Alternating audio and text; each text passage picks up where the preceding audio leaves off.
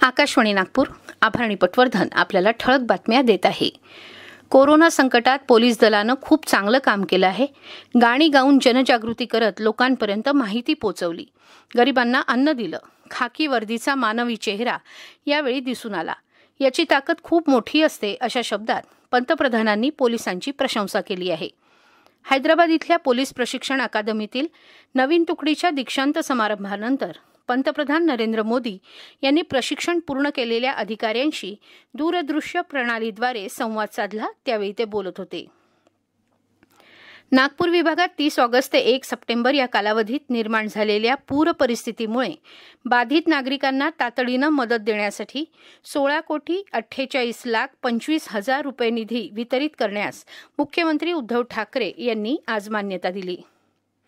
नागपूरचे महापौर संदीप जोशी आणि मनपा आयुक्त राधाकृष्णन बी यांच्या सूचनेनुसार सार्वजनिक ठिकाणी मास्क न लावणाऱ्या तब्बल दोनशे सव्वीस बेजबाबदारांवर आज कठोर दंडात्मक कारवाई करण्यात आली. उपद्रव शोध पथक प्रमुख वीरसेन तांबे यांच्या नेतृत्वात पथकानं दहाही झोनमध्ये कारवाई करीत पंचेचाळीस हजार दोनशे रुपये दंड वसूल केला.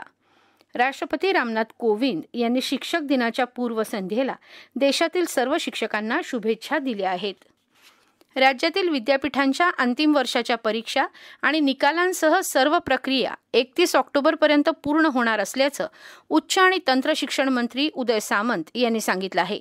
अंतिम वर्षाच्या परीक्षेसंदर्भात राज्यातील कृषी अकृषी विद्यापीठांच्या सर्व कुलगुरूंची काल ऑनलाईन माध्यमातून राज्यपाल भगतसिंग कोश्यारी यांच्या अध्यक्षतेखाली बैठक झाली. एनईईटी आणि जे डबल ई परीक्षा घेण्याचा मार्ग मोकळा करून देणाऱ्या सर्वोच्च न्यायालयाच्या आदेशावर विरोधी पक्षशासित राज्यांच्या मंत्र्यांनी दाखल केलेली फेरविचार याचिका सर्वोच्च न्यायालयानं आज फेटाळून लावली. या महिन्यातील एक ते सहा तारखेपर्यंत जे डबल ई मुख्य परीक्षा तर एन डबल ई टी परीक्षा तेरा सप्टेंबर रोजी घेण्यात येणार आहे. याबरोबरच हे बातमीपत्र संपलं. नमस्कार.